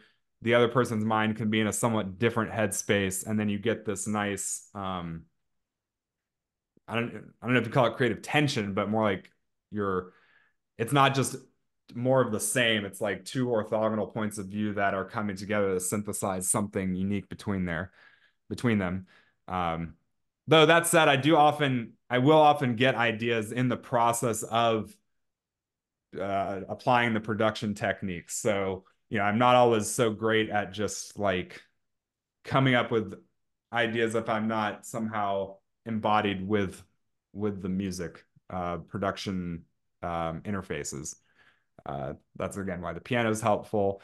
Um, but that's also why I encourage people in the class to like use their voice to record ideas or tap out rhythms on their on their uh, table or you know I think I think a lot of people have music within them and now that we have portable microphones and um, that we carry around with us we can capture those moments and then bring them into the studio and and dress them up from there. Um so uh yeah getting back to to what it was like to work with you um yeah i don't uh, we didn't we never really had any serious disagreements so that helped keep things moving forward. Um uh i felt like i could you know based on what you brought. N- neither of us was like overtly committed to things having to sound a certain way. So that also made the process more fluid. Like we could just kind of keep building on what we had and not get too stuck. I mean there were we did go down some blind alleys. I think we we may have tried out some things a few times here and there that ended up not working out. But honestly you can't it'd be very it'd be very difficult and you maybe impossible. You'd have to be so risk averse that you never tried anything. Because if you're not willing to uh, fuck around and find out uh, or do things for the fuck of it, um, as you say, uh, then you'll never um, you'll you'll never get to that final place that you want to be. Um, you're going to end up leaving something on the cutting room floor, and you know you should be confident in your own generative ability so that you don't mind having to throw out some ideas. In fact, one of the best techniques is just to like come up with 10 random ideas and then pick the best one and go from that. And very little intelligence or foresight is is required there. Um, you see a lot of these production videos on YouTube where they're where they will set up some kind of uh, randomization synth and they'll have it create a bunch of patterns and then the human can go back and apply their curatorial discretion to pick out the best bits and then work that into a whole track. I think AI is that's this is one of the ways that AI music can actually help the music process rather than just uh, disintermediating producers. Um, so, um, so yeah, working working with you was great. Would love to make another track sometime. Um, and I know you like you had you've been working with um, uh, Aspen. Aspen, yes. Mm-hmm. And so um, I also felt confident that okay, you've you've further honed your studio skills. You know what it's like in there. I'm sure you learned a thing or two along the way, so that when we get together, it won't be uh, a waste of time, or we won't spend all our time just like me teaching you things. It felt like a real conversation and a collaboration. Totally. Hmm. Hmm. say uh say that you do these interviews for different jobs and you go back into software is there anything that you would like to do to keep going with music and like what would if you fast forwarded say five or ten years what would make you really happy with the music part of your life mm. yeah i'm actually that's one thing i'm kind of contemplating now on a little bit of a deadline because um um the deadline for teaching at Fractal in this fall semester, or at least submitting the materials, is this um, is on the tenth. So you know, I, have I've thought that I would um, definitely teach the class again, but I know that uh, 1G is about to be under new management. I'm also going to be starting a new job. I assume you know I'll get one of these, and so and you know I did accomplish my sabbatical goal of teaching a music class. In fact, I got to teach it twice, and you know, really um, slim down the curriculum. So it's like exactly what I want to have in there. And on the one hand, it would be kind of a shame to, you know, have done all that work and then not keep it going, especially when we're at the when I'm at the point where like I have all the materials put together. Um, I don't um, you know, need to develop the curriculum further. That part's on the rails. But, you know, there's still the the part about showing up to class excuse me, teaching it, traveling in and out of the city, sending out recap emails and so on. And and I do like I do like uh, improving people's you know musical consciousness, even if they don't become superstar producers like yourself. Um, it is nice. It, I, I kind of think of the class as like a kind of music appreciation class in some sense, like improving people's musical awareness.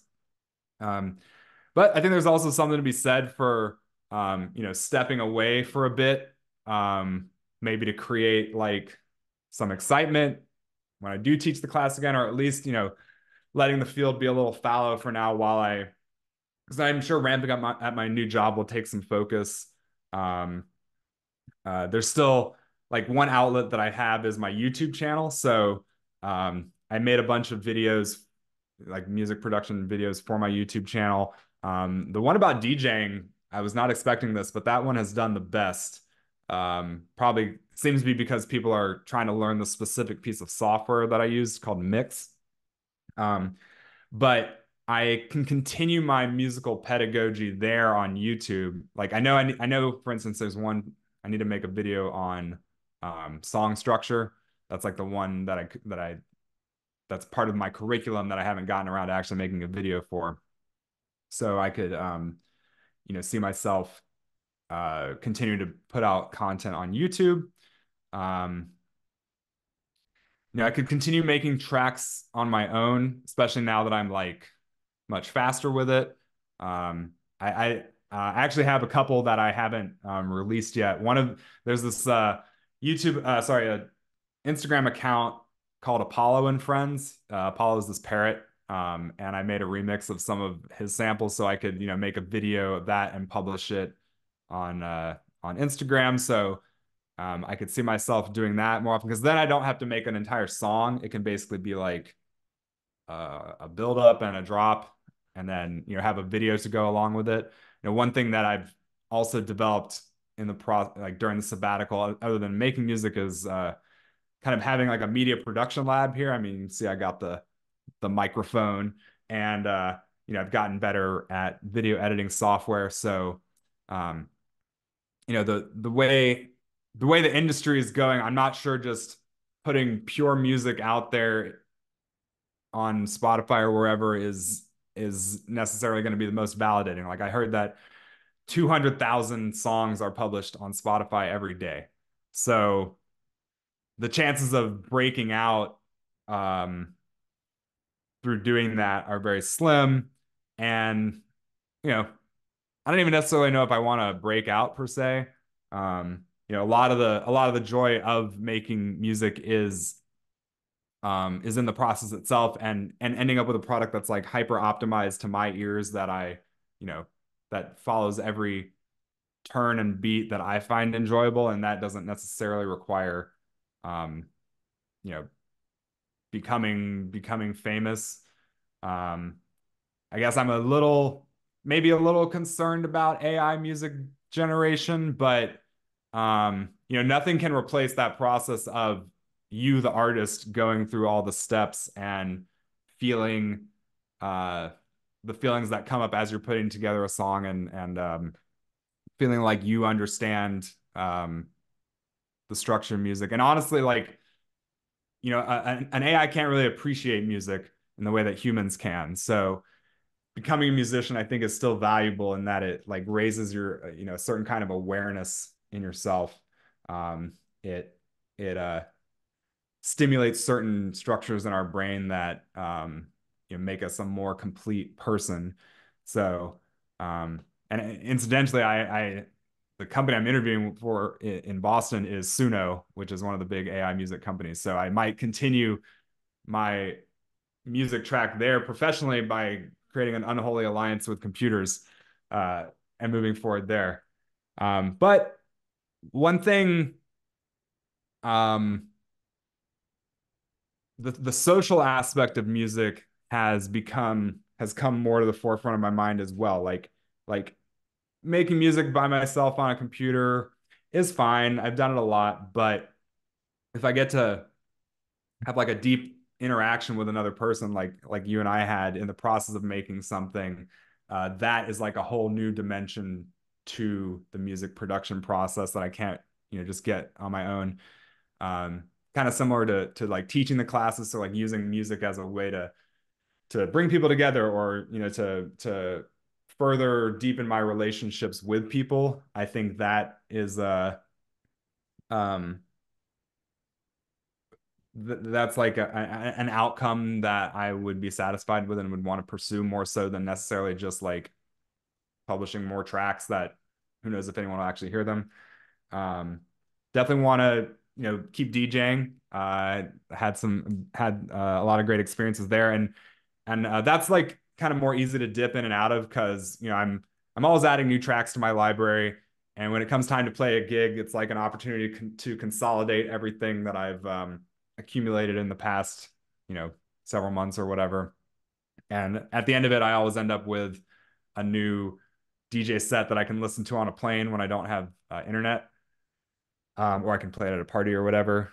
Um, so, so yeah, probably not gonna just make like pure music by myself to publish, but finding ways to use music to connect with other people or to further my broader um, media creation abilities, like especially with video, or to help bring people up to my level of music awareness and, and consciousness. Um, I think those kind of activities are where where I would put my energies over the next like five to ten years. Hmm. May it be so. I'm especially oh, I, am especially thinking of uh, our friend Capslap, who I hmm. talked to, who uh, recently decided to um, quit his 15 year career in the industry to pursue coaching. Um, you know, he, you know, even someone as accomplished as him and who was influential to me in the early days of turntable.fm, uh, uh, you know, he hit this, he hit a sort of wall that, you know, uh, resonates with me as well. Like the limits of just making music for other people um, and you know, it, it can be quite a grind, even like unless you're at the maybe very tippy top uh, of the industry. But you know, there's a lot of um, there's a lot of people trying to get that brass ring, and you've got to put in a lot of a lot of long nights, a lot of traveling. I mean, it's mostly live performance that um, you know pays the bills and makes it financially feasible. So, and you know, for like philosophically, I feel like you know music belongs to the people. And so um it's creating it is kind of like an inherently joyful act. And you know i'm glad that um people can make a living off of it. Um but but for me i think it's better to just have it be you know one of those things that humans do. You know we're human beings. We we dance we make art we make music. Um and and it's enough for me to just you know approach it in that from that um, perspective. Beautiful. I love that. Hmm. seems really like a healthy a healthy way to hold it. Um, so we've covered a lot of territory is there anything you'd like to talk more about or dive more deeply into um yeah i would be curious to know where you're taking MettaWave because mm. um, that was one of the like when you um, asked to join the class, you submitted your application. You came in with a really strong idea, like I've got this new genre of music that I want to make, and I've heard some of your sets; they sound amazing. Um, we've made our track together. You made a bunch of songs with Aspen. Um, what's next for MettaWave? Where are you mm. taking that? How are you incorporating that into your um, into your your broader life project? Hmm. Hmm. Yeah, thanks for asking. Um, I think my, you know, I spent, and in the end, I ended up spending four months in New York this year. And I kind of thought about that almost like, you know, I've done a ton of meditation retreats. And when I did monastic training, um, there was the what we would call the awakening part that was about meditation and then there was the responsibility part that was about like leadership and service and learning to grow as a person so that you can be a benefit in the world. And I almost thought of the time in New York as like a responsibility retreat, whereas like an extended focus time of working on music production and then also cultivating relationships with people in New York and that sort of thing. And um, that was like pretty intense. Like I really went, I, I gave everything I had to it and um, that was really good. And then when I left in June, I really needed to rest a lot that month. And like the first couple weeks of that month were just like physically resting. Like I slept like 12 or 13 hours a day for a couple weeks. And and then the second half of the month, I felt more physically rested, but I still kind of needed to do this like internal reorientation and like almost like finding myself again. Um, you know, I was I was in the suburbs and my hometown with my dad and just kind of like reconnecting to myself and what I care about and what I want. And um, it's felt good over the last few months to kind of take some time off music actually, like after such intense focus and um, also almost just like let that be on the back burner and um, actually opened Ableton yesterday for the first time in a few months and um, that felt I was like, oh yeah, this I know how to do this a little bit. and um, you know, and I haven't been. I was staying with Aspen for a while towards the end, and like was able to use her studio, and um, I haven't really been in a studio environment. I mean, I can do stuff just on my laptop, but it's much nicer to like, you know, like she had a push and a keyboard and stuff like that. So, um, and really nice speakers. Um, but yeah, I, I, don't know. I've been really like focusing on fiction the last few months and kind of getting back into writing, and um, that's felt really good. But I think most immediately um, next week I'm going to fly to Tennessee and um, or I'll go travel to Tennessee and um, we're doing uh, an in-person event for the empowerment part of my work and as part of that I'll be running like an empowerment dance party which is a little bit different than the metta dance parties that I do and more about people's like I mean, to me, empowerment's about people having a vow or a life purpose and doing service projects. So that'll be really, it'll be kind of like a metta dance party, but with different themes. And um, I'm excited about that. And then, yeah, I kind of imagined that over the years, I'll spend time with different musicians that I know and like kind of work with them in person in their studios and like collaborate on stuff. And I think I really liked that dynamic that you described of um, like being a little bit like Rick Rubin and like, not having as much of the production skills, but really bringing like a vision and taste and like a direction for where things could go. And, um, you know, we had that and uh, Aspen and I have had that and uh, I've collaborated with a couple other people. And so I'd like to keep doing that and just like build my skills over time. And um, I think the vision remains pretty clear for Mettawave that to the extent that I cultivate music production skills, I want to use it in that direction. And um, you know, I can still explore and do other things, but that's really a core interest in that when I'm running the dance parties myself, um, there's a specific like note that I want to hit of how the music sounds and what the vibes or tone of the the dance party are that's kind of hard to hit with existing music. Like um, there's like a few different qualities I'm really looking for, and I can find tracks that have one or two of them, but all three, let's say, is hard to do. So I, yeah, I'd still feel resonant to keep making those. I mean, I think a big part of it is that my one dancing is just one of my own favorite ways to practice metta and loving kindness. And um, I did so much like seated formal practice and stillness in my 20s and my body's just like still kind of tired of that and like I don't have any of that with dancing. It's just like there's good music and I love you know you really I mean it's kind of like self-inducing MDMA you're just like happy and feel good and um it, it's not um it's just fun and it feels really good. So I'd like to make the music that I'd like to dance to at the dance parties and um you know we'll we'll see what 2025 holds for the metta dance parties but I imagine we'll keep running those and um, do them in different places. And I, I enjoy that. So it's nice. And it, I don't know, it was really cool. And then at the New York Dance Party to finally have music that I'd created that was like, you know, with Aspen and be able to play that. And uh, that was like,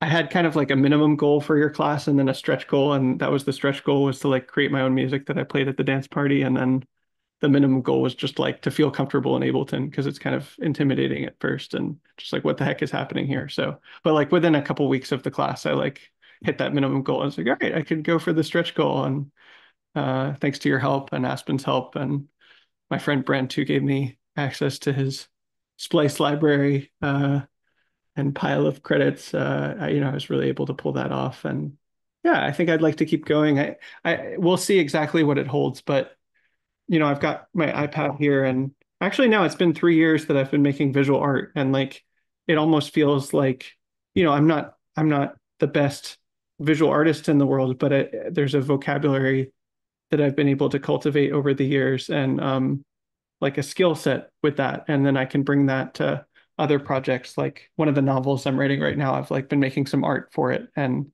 that's really cool to like have my own art with its own style and like in the novel that I'm writing. And I think that's what I'd like to do with music is not have it like I love Fred, as you know. Like I, would it's not like I want to be Fred again or be Tinlicker or you know Above and Beyond or other people that have really inspired me. But I want to have music as a skill set that I can draw on for other service projects and like be able to combine them with my art or my words or you know in-person event planning or or you know podcasts or something like that. The world is just going to get weird, and I want to see what that's like. Mm-hmm. Yeah, I, I, totally feel you on the the joy of dropping one of your own songs in a in a DJ set. Uh, even if you know no one in the audience knows it's your track, you know it, and uh, um, and you know getting to hear it on the big speakers is also a treat because we don't always get to play it on huge huge sound systems. Um, do you feel like the your Ableton technique is like riding a bicycle? Did it feel like when you opened it up again, you were like, oh, I don't know what's going on, or was it like, oh yes, my old friend, I know how to insert a new track mm, and mm-hmm. program a drum beat? Well, when I opened it yesterday, I was um, preparing songs for this set where like I kind of iterated at the Metta Dance Party in Brooklyn on even it was actually literally the night before the dance party. I, I, talking to Aspen about it, I decided to like put my samples on the songs and then like sidechain the um, song to the sample so that it would be more loud and then like EQ it so that like if there were weird noises, those would be removed. And I found that that just ended up sounding a lot better for using the samples that I like than just like playing them in the DJ set live. And it also kind of takes the pressure off DJing a little bit where I'm, if I do that, I literally just have to do the transitions between the tracks. And I do transitions in a pretty simple way. Like I, I, know more advanced DJs would be like, "What are you doing?" But it works for the Metta dance parties. It's like I'm not trying to have the most technically advanced set. It's really more about that idea, like you're saying, and, and the vibes, and um, that works well enough for that. And so I was trying to just get some tracks ready for this empowerment dance party that I'll do in a week and a half or something. And um, I wasn't full on making a track, but um, yeah, I think it's a little bit like um, it, felt a little wobbly just because it had been a little while, and I still feel pretty new to it overall. And um, but I think over time it'll feel more and more comfortable, and um, you know, um, especially as I understand more of the fundamentals of music and like have um, like there was a point I hit in my visual art career where um, like I have certain palettes that I use over and over again, and I have certain brushes that I use over over, over again, and I like made my brush set and I made my palettes. And like I could always use new brushes if I wanted to and I could always use new palettes if I wanted to but it was almost like between that and learning a few different techniques that I use all the time now like I had a the basics of a vocabulary that I could start to do the equivalent of like making sentences or paragraphs through my art. And I think that I have some of those pieces in place with music production now but like I still think there's like one or two missing pieces that I'll need to learn over the next few years that are like really like having an instrument that it's like um that I can draw upon to go from to like articulate an idea, bring it into reality uh, in Ableton. And I, I have definitely have some of those at this point, but I think I'm not quite at that point that I got to in my visual art career yet. Well, yeah, if you're revisiting it periodically you'll get like a natural spaced repetition style of memory training. So mm.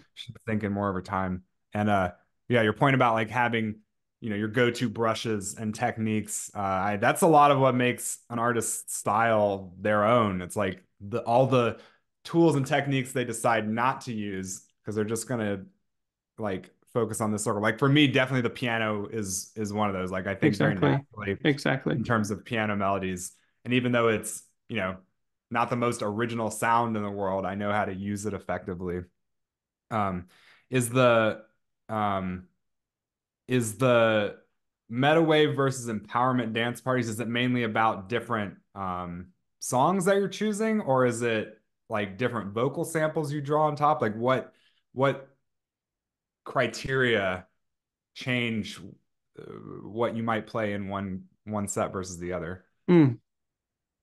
Well, we'll see if this is something I do repeatedly. I mean, this is our first time running this event for the empowerment mm. department, and uh, and but some of it's just the context. Like it's going to be, I think, seven of us in the end that'll be gathering to like talk about service and our projects and how we can support each other and that sort of thing. And um, so that's one thing. That's a different context than the metta dance parties, which are like a public event and they're specifically about loving kindness. And um, I think with the metta dance parties, like for 70 or 80% of it, I really want it to be like a very positive tone and like upbeat and encouraging. And, you know, I might hit more like sadder, difficult notes, but those are always like flavored by compassion or karuna.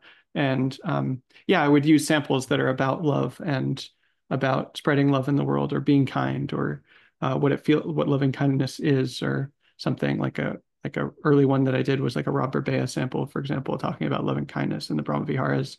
And these ones it'll be more about like being a hero and being of service to people and you know something like a life purpose if I use samples and um, yeah, I, I think I also have a little bit more flexibility with like which tracks I could pick than I would at a metta dance party. Like I'm gonna play some stuff that's like pretty dark or um like I don't know, uh, just a totally different tone. Like I'm going to play our Rockstar track, for example, which I don't actually think of as like a metta wave track because it's not really it's not really about love or spreading love in the world. It's like, but uh, you know, it fits well with the empowerment theme. It's like I'm a rock star, you know. Uh, so um, yeah, that'll be fun to play, and uh, it's I also just love how like silly a track that is. Like I really came to love that. Like the like the room in the middle or you know, I, I also just love the the sample from Lady Gaga, of course. Um, she's such a badass in that interview. And mm-hmm. um, yeah, so it'll just be a different tone and different themes and um, it'll it'll feel different.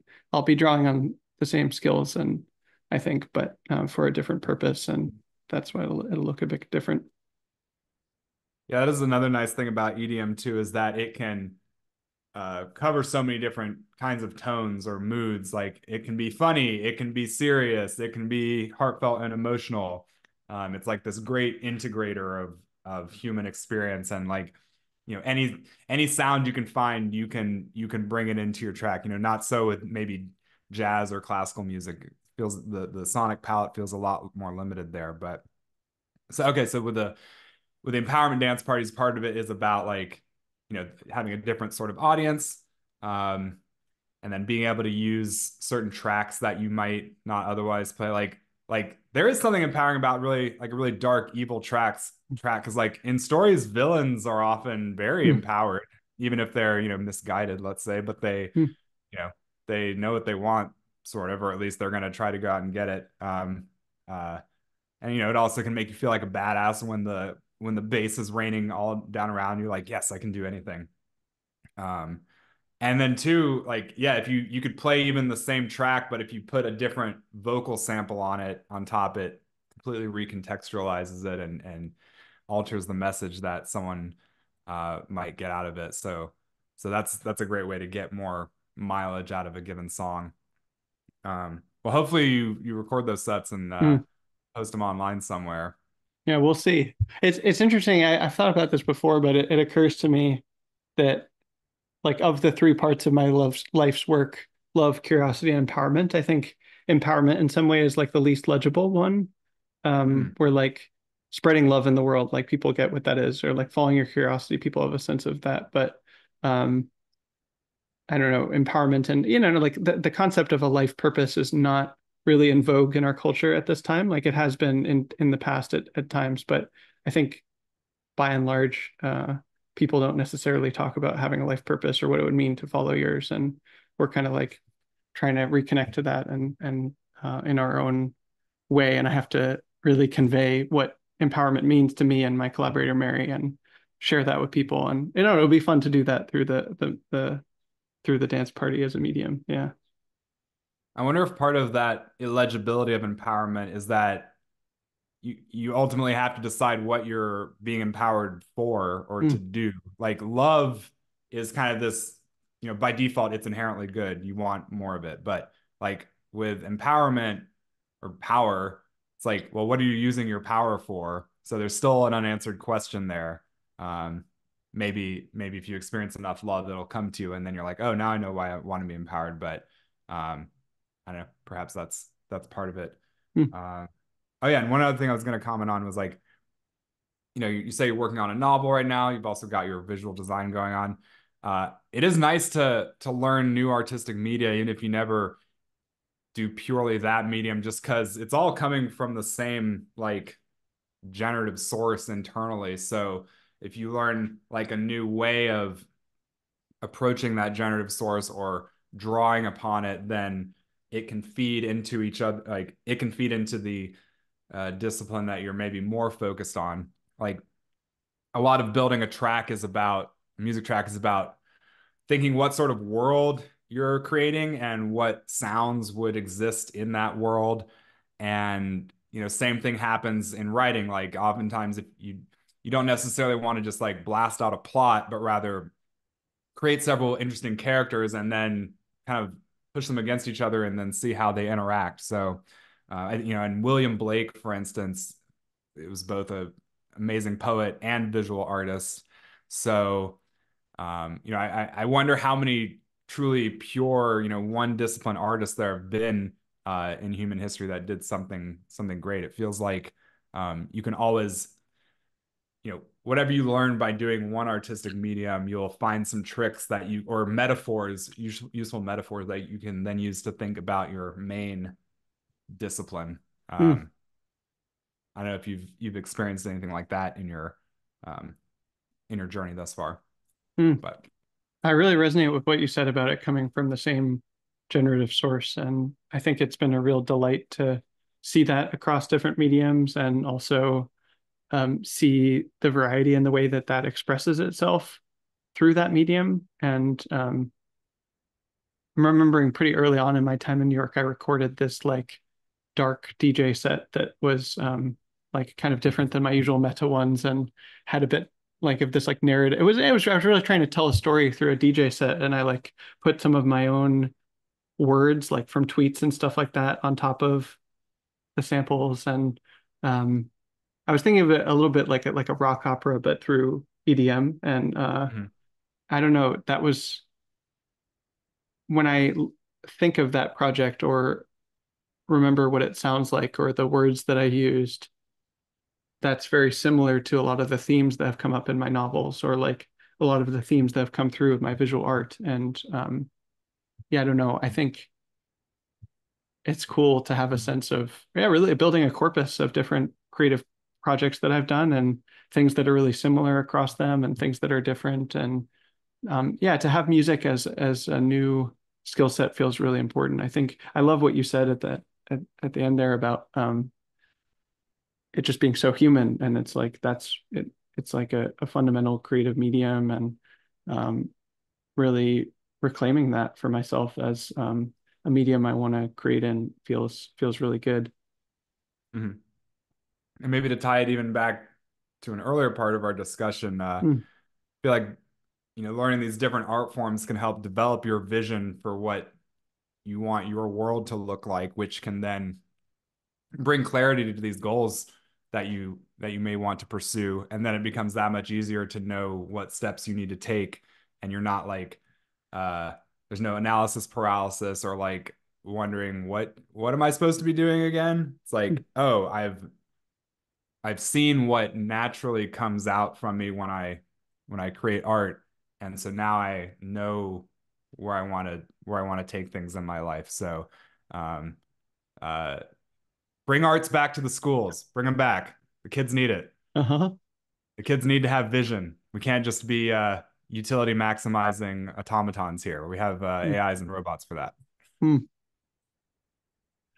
Yeah, it's interesting. I, I don't know. I think in a lot of ways, being an artist is the at the core of most of the projects I do. And sometimes I'll mm-hmm. describe it as being like a life artist and like my life and is the canvas that the art is being conveyed on. And um, I don't know, I, I don't think I saw that coming in my life that I was going to be an artist or that my life would be art. And, um, you know, I thought, oh, I'm going to be a monk or, you know, maybe I thought I want I actually wanted to write the great American novel in my late teens. That was like an uh, I wanted to be like a novelist, and that was an aspiration, or be a philosopher for a while. I wanted to do that, or there are other things I was kind of captivated by the idea of. But I think if I had to put it into a word, like being an artist is really um, the thing I'm doing now. And um, I know pilgrim's a good word too, but uh, mm-hmm. or or my official job title, guild master for the service mm-hmm. guild.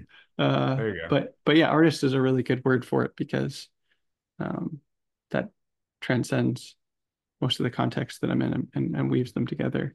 Yeah. Maybe part of the challenge is that society frequently talks about the starving artist and we hear about it mainly in like through a commercial lens but for me being an artist is more about um, maybe seeing things that most people don't see or feeling things with a new kind of sensitivity or a different kind of sensitivity that most people don't feel.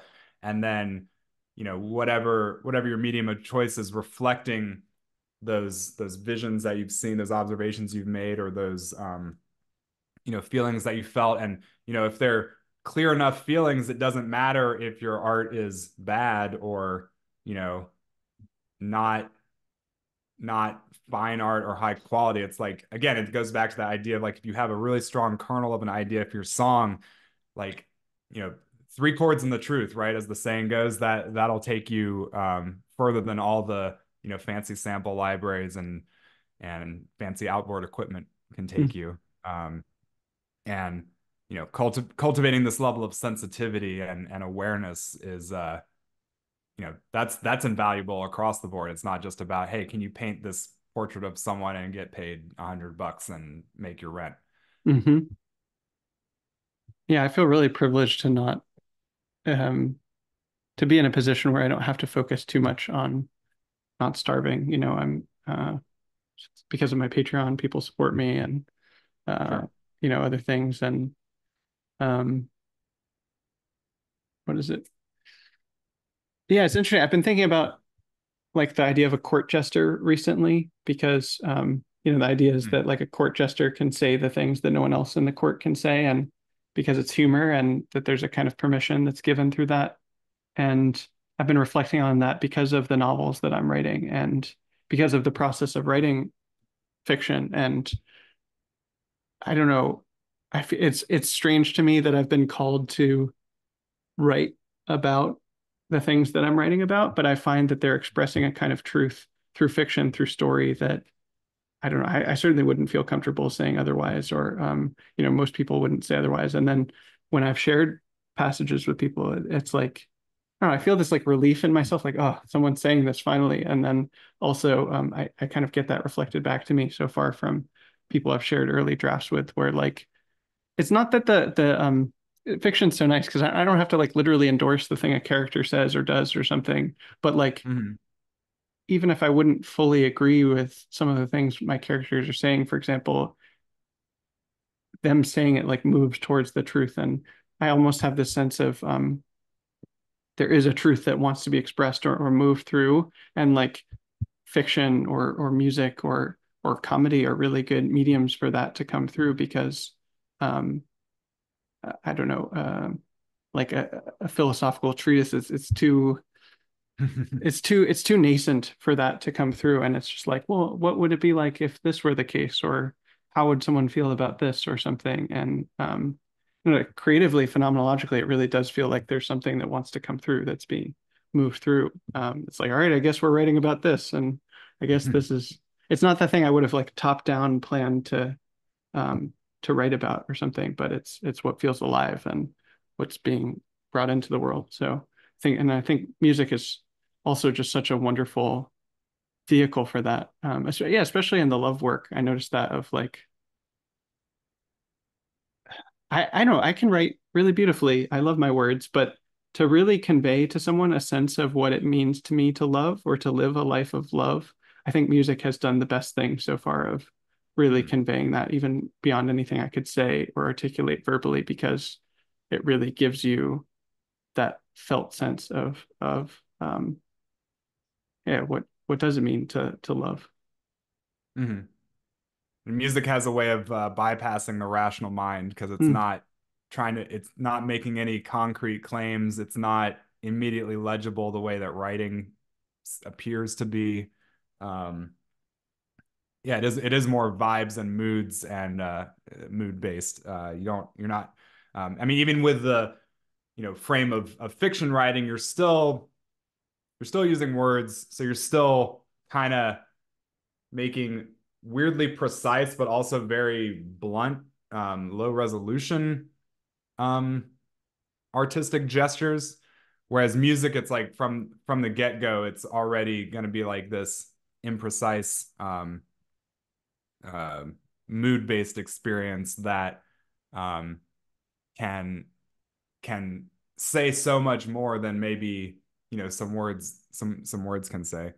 Um but yeah i like the idea of you know it's not like you're writing a humor novel per se. It's just that the the framing of fiction gives you permission to be more experimental or playful or or say things that you don't necessarily agree with or you wouldn't like full-throatedly endorse but maybe like it's something you've observed even though it might be uncomfortable to to say like in, in a philosophical treatise like you mentioned you're kind of like claiming this is what i believe like otherwise why are you writing it mm. um it's very it's like what you see is what you get or um, there's no there's no gap between the artist and the the art um, it's like uh, yeah there's no there's there's not a, there's not a lot of leeway to try to make tentative statements i mean maybe maybe with an essay you could or maybe you could like put a disclaimer on your work like you know epistemic status 50% or whatever mm-hmm. um,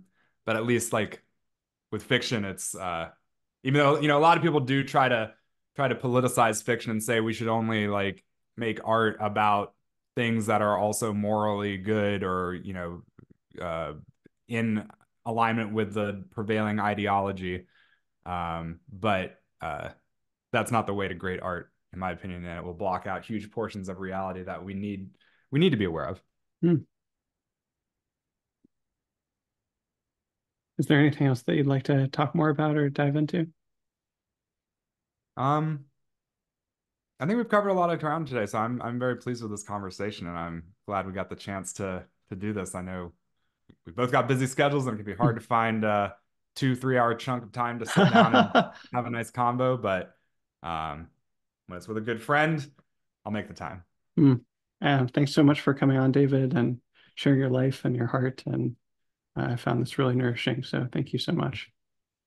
My pleasure. Hope, hopefully we can uh, share the bill on a DJ uh, party sometime. Inshallah. Inshallah.